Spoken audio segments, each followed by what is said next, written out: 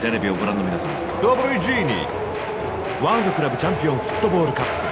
カドシナルイワンセントボール。対スーパーサンやむ気配のない雨の中無事にキスタジアムから。実況狩野武彦がお送りします。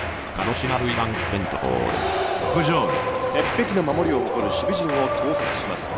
今日も無失点に抑えられるか。ワールドクラブチャンピオンフットボールカップ。今試合開始です左から右に攻めます。エンジのユニフォーム仕掛ける。ティアゴシューバーキーパーから。トラップ。上がっていった。抑えた。クリスティアーノ・ロナウド。決まった。ゴールです。前半10分。1対01点を先制しました。ビューティフルゴール前半11分キックオフです。ドリブル。つないでいきます。ディアルナパスを出してきた。インターセプト。うーん。果敢に。ロナウジーニョ。フォワードにとって頼れる相棒です。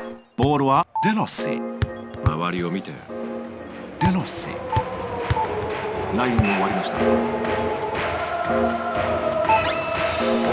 投げ入れる。自分で行く。割って入ります。止めて。さあ。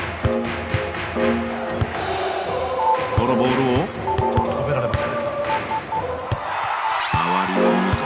上がっていった。これはキーパー。キーパーは。ベナーリオ。突破していく。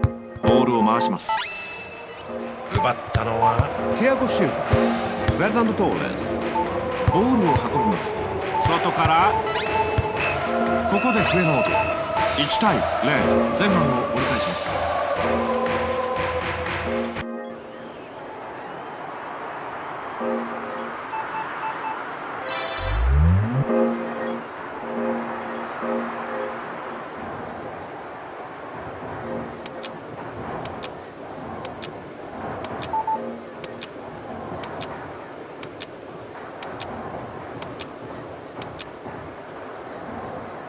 さあ後半戦が始まりました。なるほど。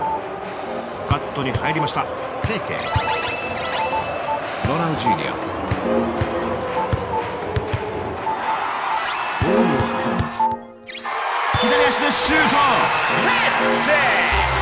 ゴールです。2対0クラッカー。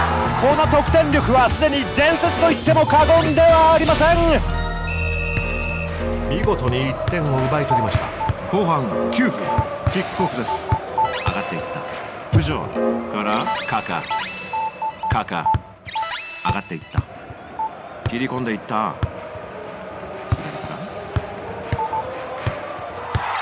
中に入れてきた。シュートを放つ。レッテゴールです。後半19分。トライベイビー。クリスティアーノ・ロナウド。ピエッタ素晴らしいゴールです。確実に決めてくれました。後半21分。さあキックオフです。周りをよく見て。中央を突破。抑え。自分で行く。中をよく見て。パスを出してきた。自分で行く。ペペドリブル。フェルナンド・トーレスディアルペペパスを出してきた。ボールを運びます。クリスティアーノ・ロナウドここは。サイドに送ります。抑えタイムアップ。3対。0グランディシナルイワンセントボール。ワールドクラブチャンピオンフットボールカップ。栄えある優勝です